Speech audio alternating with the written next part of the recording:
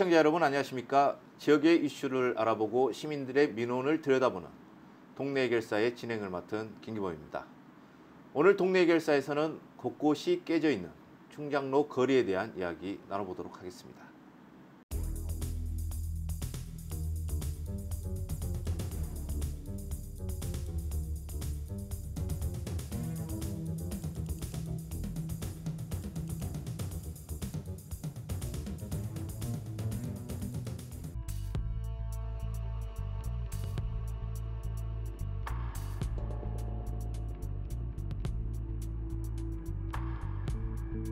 그 2007년에 준공하고 나서 12월 달에 저희들한테 관리 이관을 시켰어요. 이제 관리 이관을 시켜서 이제 초창기는 깨진 것이 없죠. 어느 정도 시간이 지나야 깨지고 해서 덜어는 한 번씩 지원도 해줬고 저희들이 자체 인력으로 보수를 하고 있습니다.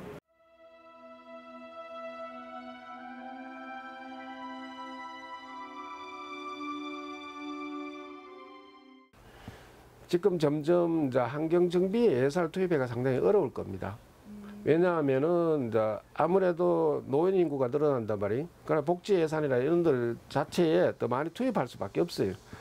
그럼 상대적으로 이제 동구같이 인구가 계속 줄고 있는 입장이고 그러다 보니까 이제 어떻게 보면 인구가 많이 늘어나야지 세수도 많이 걷어지고 뭐 이런다 말이 특히 지방세 같은 경우는 좀 그러면 이제 지- 어, 인구가 많아야 또 중앙정부 뒤로는 교부세라든지 이런 것들도 많이 늘어난단 말이에요. 근데 그렇지 못했을 경우에는 상대적으로 이제 뭐 예산이 부족할 수밖에 없어요.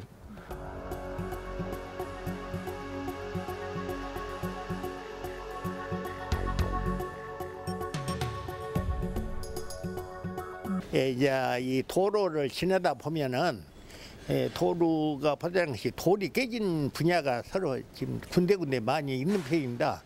그래서 비가 올 때는 이렇게 물이 뛰올 뿐만 아니라 여러 가지로 말하자면 불편한 점이 많이 있었어요. 그래서 그런 것을 깔끔히 보수 공사를 했으면 하는 마음입니다.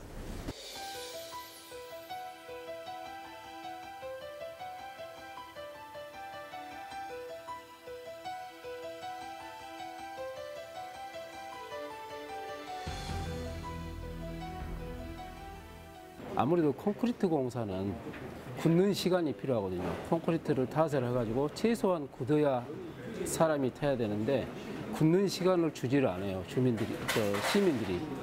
이를테면 거기를 통과해야 되는 차가 어, 콘크리트가 굳기 전에 통과하게 되면은 콘크리트가 안 굳으니까 그게 부실 시공의 원인이 되지 시공 자체가 부실 시공은 아니죠.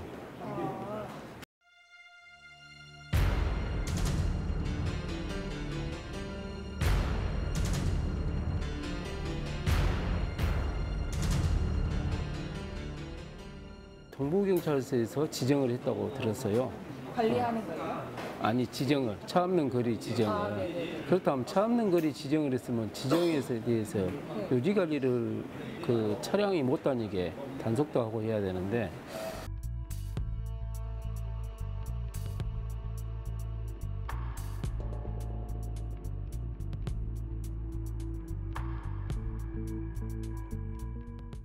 리모델링을 하게 되면은 장비가 들어옵니다. 크레인도 들어오고 지게차도 들어오고 덤프트럭이나 포크레인도 들어오고 그러는데 지탱하는 장비 그 발판에 깔판을 좀 넓게 철판으로 덮어서 그 하중을 좀 분산시키게 되게 시키게 되면은 하중이 집중이 안 되니까 판석이 깨지질 않습니다. 근데 그런 그게 좀 귀찮아지니까 그런 것을 않고 차량에 붙어 있는 그 판으로 그냥 눌러버리거든요. 그건 주변이 같이 깨져서 이제 문제가 발생하니까 어, 리모델링 하는 사업주나 그 장비를 갖고 움직이는 장비 기사분들이 좀 많이 좀 도와주셨으면 좋겠습니다.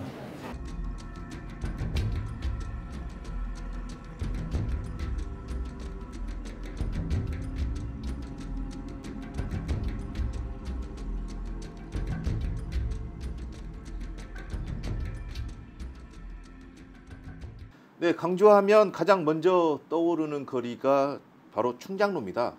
가장 유동 인구가 많은 곳 중에 하나인데 이 충장로가 비가 오면 물지레가 많다라는 이런 오명을 받고 있다고 합니다. 오늘은 충장로 거리에 대한 이야기 오은성 변호사와 함께 이야기 나눠보도록 하겠습니다. 안녕하십니까? 안녕하세요. 네, 제가 물지레라는 이런 표현을 했는데요. 뭐 비가 오거나 하면 보도블럭 사이에 물이 고이고 또 그곳을 밟게 되면 이제 물이 튀면서 네. 뭐 옷을 버리거나 이렇게 그런 상황이 발생을 하긴 하는데 충장로에 어떤 문제가 있어서 이런 물지레라는 이런 오명을 받고 있습니까? 네, 현재 충장로를 중심으로 네. 예술의 거리 그리고 금남로 4가에 이르는 이런 일대 거리가 그 약 10년 전에 특화거리 조성 사업의 일환으로 네. 거리 재정비 사업이 있었습니다. 그런데 이런 10년이라는 시간이 지나고 현재는 그 거리의 관리가 제대로 이루어지지 않는 이유 때문에 뭐 거리의 곳곳이 파이고 타일이 부서지는 등 거리가 손상이 되어 있는 상태입니다. 네. 그래서 비가 오면 그곳에 물이 고여서 뭐 지나다니는 행인들이 지나다니다 그곳을 밟게 네. 되면 뭐 마치 지뢰를 밟- 밟은 듯한 아, 네. 상태가 된다고 해서 이런 오명이 씌어진 것으로 보입니다. 네. 네. 어, 그런데 이 충장로 거리 일대가 한번 뭐 정비 사업을 마친 곳이지 않습니까? 네. 그런데 뭐 아직도 이런 부- 문제가 발생하고 있는데 어, 그 당시 뭐 구체적인 어떤 사업이었습니까? 네, 당시에는 이제 정부의 특별 예산을 받은 사업이었습니다. 바로 충장로 특화거리 조성 사업이었는데요. 총 예산 20억 원을 들인 뭐 대규모의 사업으로 뭐 충장로 거리를 화감암이라는 소재의 타일로 네. 뭐 재정비를 함으로써 뭐 서울에 있는 인사동이나 아니면 강남 거리를 벤치마킹해서 뭐 네. 이런 명품 거리를 조성하려는 그런 사업이었습니다. 네. 네. 국비와 시비가 이 투입된 사업이었는데요. 네. 그런데 충장로 거리가 이렇게 깨지고 파이는 일이 뭐 이번이 처음이 아니라면서요? 네, 맞습니다. 그 약 10년 전에 조성이 된 사업이니만큼 네. 현재는 그 연한을 다 했다고 봐도 무방한데요.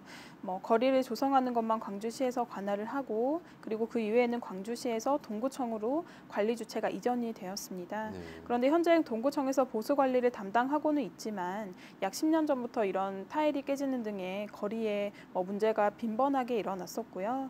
뭐 현재는 그 횟수가 점점 많아지고 있는 실정이라고 합니다. 네, 충장로 거리가 빈번하게 이렇게 훼손되고 있는 그런 상황인데요. 해당 구청은 어떤 입장인지 한번 들어보도록 하겠습니다. 그 2007년에 준공하고 나서 12월 달에 저희들한테 관리 이관을 시켰어요.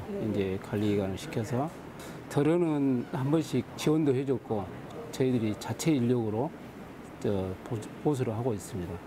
2006년이나 2015년하고 2016년 같은 경우는 아시아 문화전당 개관 사업이나 그 아셈 회의 대비해서 주변 보도 환경 정비 사업을 하느라고 한 1억 정도 소요를 저 지원을 해줬고 그 외에 이제 예전부터 저희들이 자체 보수 전담반을 편성해서 예, 저 정비하고 있습니다. 네, 충장로 특화거리 조성 사업으로 지금 만들어진 건데요. 뭐 충장로로 이 가보시면 아시겠지만 뭐 거리, 거리가 깔끔하기도 하지만 또 한편으로는 좀 뭐 정리가 좀 부족하다 이런 느낌이 들 때도 있는데요. 그렇다면 이 부분은 뭐 10년 전부터 계속 논란이 되어온 그런 부분인 것 같은데 뭐 거리 보수 작업은 뭐 어떻게 진행이 되고 있는 겁니까? 네, 이런 충장로 특화거리의 보수 작업은 뭐 네. 대대적으로 이루어지는 것은 아니고요. 네. 뭐 현재 매번 타일이 부서지거나 아니면 들리거나 하는 뭐 사태가 발생하거나 네. 뭐 높낮이가 다- 달라지거나 하는 일이 발생하면 그때 그때마다 민원이 제기된 대로 보수 공사가 진행이 되고 네. 있는 실정이라고 합니다. 뭐 타일을 새로 끼워놓기보다는 뭐 갈리는 부분은 뭐 다시 이어서 붙이고 네. 어, 정말로 회생이 불가능할 때 비로소 새로운 타일로 끼워놓는 그런 수준의 보수 공사를 진행을 하고 있다고 하는데요. 네. 뭐 2인 1조가 되어서 동구청 인력이 나가서 보수를 하고 있습니다. 뭐 간단한 보수 공사는 동구청 내에서 진행을 하도록 네. 되어 있고요. 그리고 뭐 꽤 긴 구간의 보수가 필요하다는 뭐 판단을 하게 되면 네. 뭐 그때는 시간을 두고 공사를 하는 업체에 맡겨서 공사를 진행하고 있다고 합니다. 네. 그러니까 이 거리 바닥 부분이 뭐 보도블럭이 이 타일 형태로 네. 되어 있다. 이뭐 지금 이런 이야기인데요. 그런데 자주 이렇게 보수 공사를 하고 있음에도 불구하고 자꾸 타일이 손상이 가는 이유가 있을 것 같은데요. 네. 어떻습니까? 뭐 이런 충장로 특화 거리 사업에는 뭐 네. 일반적인 도로 같은 경우는 시멘트나 뭐 벽돌 같은 뭐 이런 단단한 재질로 거리가 뭐 구성이 네. 되게 됩니다. 그런데 충장로 거리를 이루고 있는 일대에는 타일의 자재가 화강암이라는 네. 특수한 자재입니다. 그런데 뭐 충장로에 이런, 이런 화강암이 기본으로 된 이런 거리는 다른 타일들과는 달리 두께가 5cm에 불과하기 네. 때문에 뭐 다른 곳은 비교를 해보면 10cm에서 20cm 정도 된다고 합니다. 네. 그런데 이런 화강암 재질의 이런 타일은 5cm 정도에 불과하기 때문에 뭐 행인들이 많이 지나다닌다거나 아니면 차량이 통행이 네. 있었을 경우에 뭐 쉽게 부서지는 특성을 가지고 있어서 뭐 보수도 뭐 여러 번 필요한 것으로 보입니다. 네. 그렇다면 애초에 이 타일의 재질을 화강암으로 한 것 자체가 좀 잘못된 설계가 아니었나 이런 생각이 드는데요. 어떻습니까?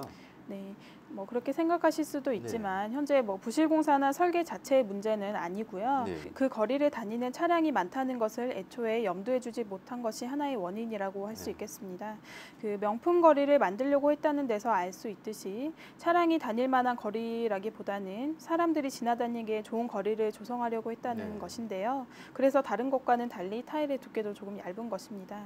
뭐 그런데 이런 보수를 진행한다고 하더라도 네. 유동 인구가 많기 때문에 뭐 보수 공사 진행 후에 타일이 마를 때까지 그 거리를 통제할 수 없다는 것도 아, 뭐 하나의 원인이 될 수 있겠습니다. 네. 네, 이 부분에 대해서 해당 구청은 문제의 원인을 어떻게 보고 있는지 한번 들어보도록 하겠습니다. 그건 아니에요. 도로를 부실하게 된 것이 아니고 보통 아스팔트 포장을 해도 5년 정도 차가 지나다니고 나면은 보수 공사를 하거든요.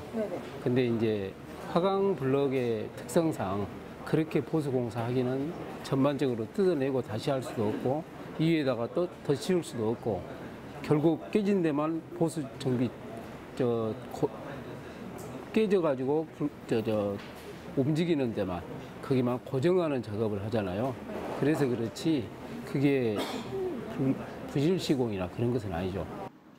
네, 해당 구청도 나름대로 지금 고충이 있는 것 같습니다. 네, 뭐 타다이를 자꾸 보수를 해야 하는 그런 부분도 있지만 그 보수 비용을 충당할 그런 예산도 문제가 되고 있는데요.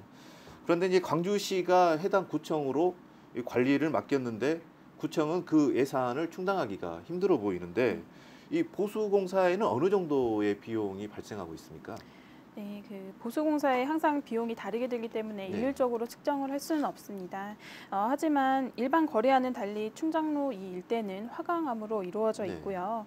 어, 그런데 이런 자재 단, 자체의 단가가 높아서라기보다는 네. 뭐 처음에 이 특화 사업으로 거리를 조성할 당시에는 많은 수량의 자재를 일괄적으로 구매를 했기 때문에 조금 더 저렴한 가격에 자재를 공급받아서 뭐 공사를 진행할 수가 있었습니다. 그런데 현재는 보수를 해야 하는 부분만 일정 부분만 자재를 구입해서 이런 보수를 진행하다 보니까요. 네. 뭐 자재 비용보다 배송 비용이 더 많이 나온 것 던가 네. 하는 경우도 있고요.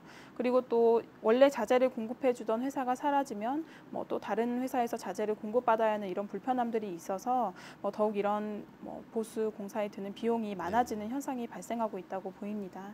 뭐 그리고 충장로 거리를 가보시면 그 작은 정사각형의 타일들이 모여 있는 것들을 발견할 수 네. 있는데요. 타일의 크기가 작은 상태로 구성이 되어 있어서 조금 더 잘 깨지는 측면이 있다고 합니다. 네. 네. 그렇다면 이 구청의 예산이 부족하면 뭐 광주시로부터 좀 예산을 추가적으로 좀 더 지원받을 수 있는 부분도 있지 않습니까? 어떻습니까? 네, 그 일반 시민들께서는 그 네. 동구에 예산이 많지 않다고 한다면 뭐 광주시나 정부의 도움을 받는 것이 어떠냐라는 생각들을 많이 하시게 되는데요. 사실 예산을 확보하는 것이 그렇게 쉽게 이루어지는 것이 아니고요. 뭐 충장로 자체가 광주를 대표하는 거리인 것은 뭐 네. 맞지만 그 관할은 동구에 있는 것도 사실입니다. 뭐 따라서 충장로를 위한 예산을 마련해 주는 것이 뭐 시에서 마련해 주는 것이 다른 구와 비교했을 때 형평성의 문제도 일어날 수 있고요. 또 예산 자체를 정부에서 가져 오는 것도 뭐 일반 시민들이 생각하시는 것보다는 쉽지 않은 일이기 때문에 현재 문제가 되고 있는 것 같습니다. 네. 예산을 추가적으로 더 확보하는 그런 부분도 쉽지 않은 그런 음. 일이라고 하셨는데요. 네, 예산과 관련해서 전남대 서준교 교수의 이야기를 한번 들어보도록 하겠습니다. 지금 점점 이제 환경 정비에 예산을 투입해가 상당히 어려울 겁니다. 왜냐하면은 이제 아무래도 노인 인구가 늘어난단 말이에요. 그러나 복지 예산이나 이런 들 자체에 더 많이 투입할 수밖에 없어요. 그럼 상대적으로 이제 동구같이 인구가 계속 줄고 있는 입장이고 그러다 보니까 이제 어떻게 보면 인구가 많이 늘어나야지 세수도 많이 걷어지고 뭐 이런다 말이에요. 특히 지방세 같은 경우는 있으니. 그러면 이제 지, 어, 인구가 많아야 또 중앙정부 뒤로는 교부세라든지 이런 것도 또 많이 늘어난단 말이에요. 근데 그렇지 못했을 경우에는 상대적으로 이제 뭐 예산이 부족할 수밖에 없어요. 네, 가장 고질적인 문제, 이 예산 문제는 뭐 사실상 뭐 구청에다가 뭐 우리가 지적을 한다고 해서 뭐 해결될 그런 문제는 아닌 것 같은데요. 뭐 인터뷰 내용에서 본 것처럼 예산의 액수는 정해져 있고 뭐 그렇다고 또 충장로와 같은 뭐 한 도시의 대표적인 거리라고 해도 뭐 예산을 더 뭐 추가적으로 더 임의로 책정할 수는 없지 않습니까?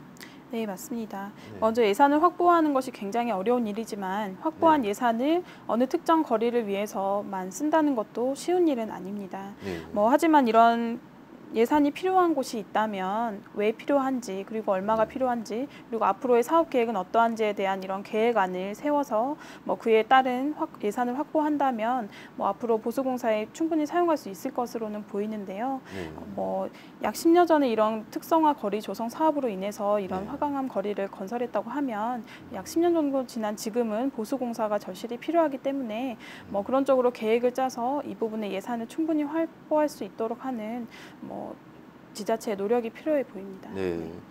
보통 그 해당 장소에서 뭐 특별한 행사가 있으면 뭐 그때는 그 일환으로 예산을 추가적으로 더 받을 수도 있지 않습니까? 네. 그렇다면 결국 뭐 예산과 관련해서는 이 충장로 거리에서 뭐 큰 행사가 이제 있을 때 네. 뭐 추가적으로 좀 예산을 더 받을 수 있는 그런 부분도 있습니까?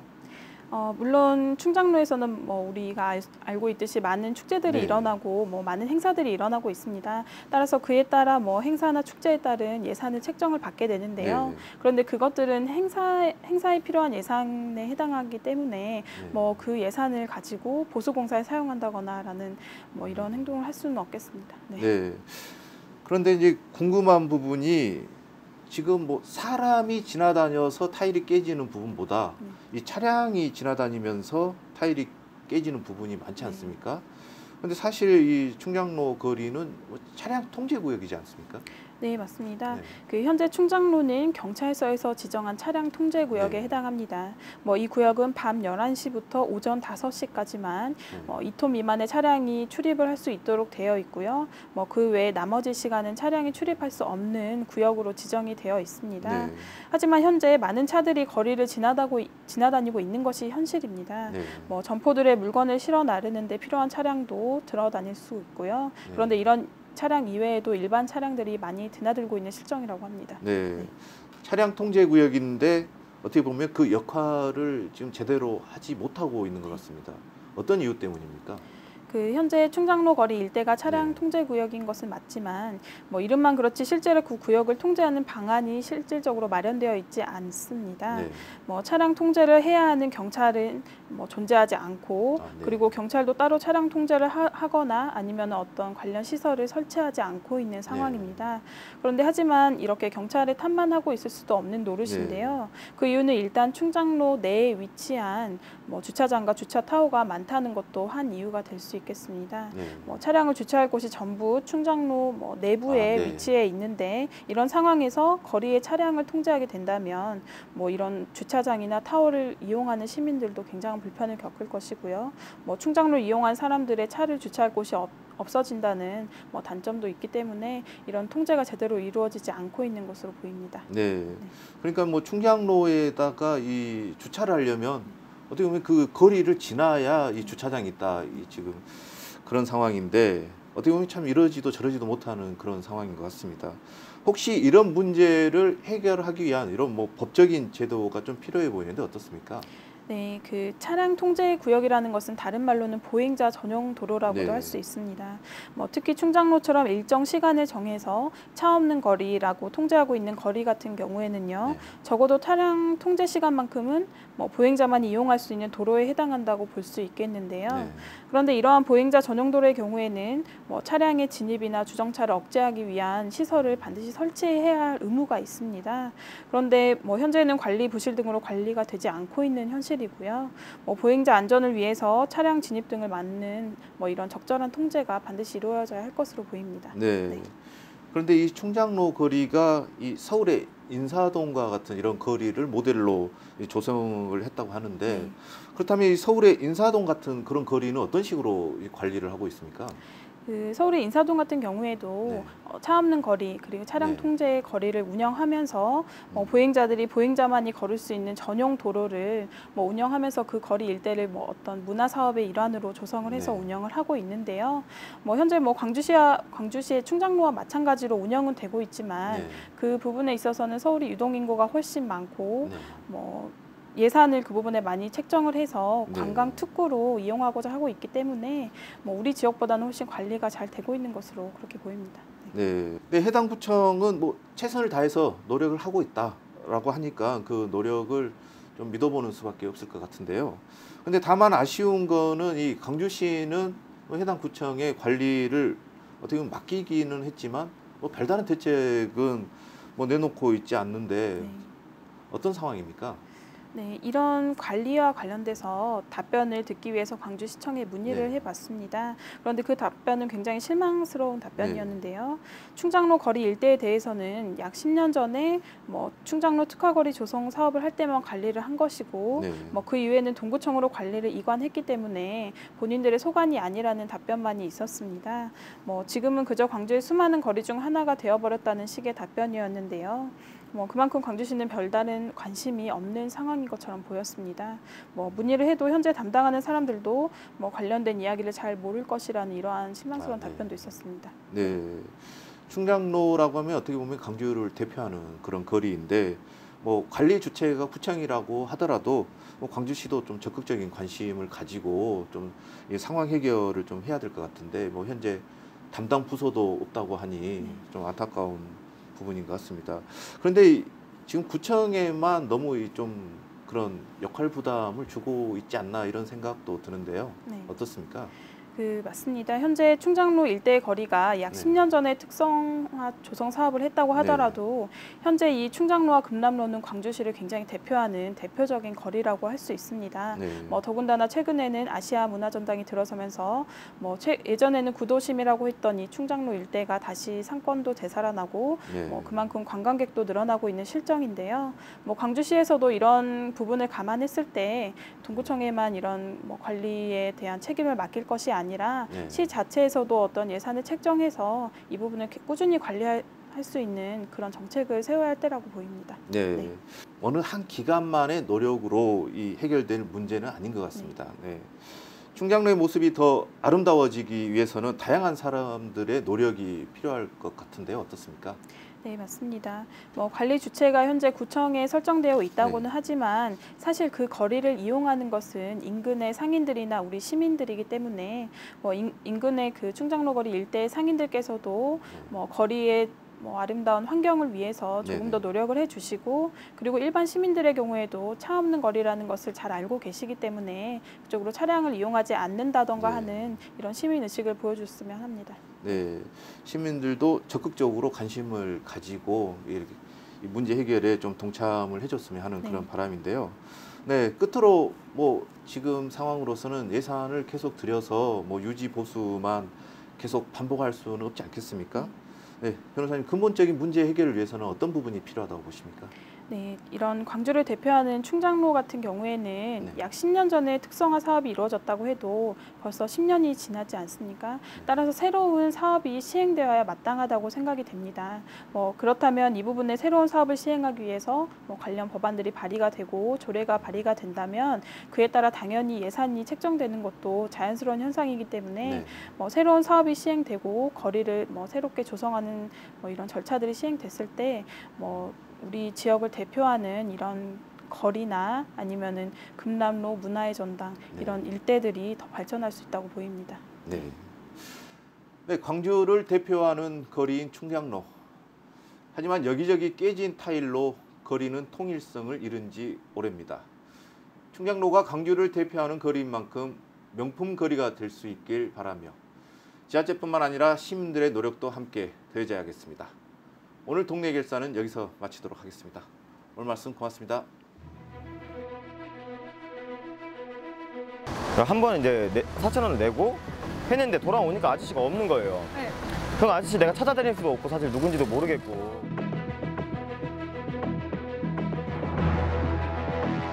이제 제가 달라고 했는데 주신 적도 있었지만 근데 안 주신 적이 더 많은 것 같았어요.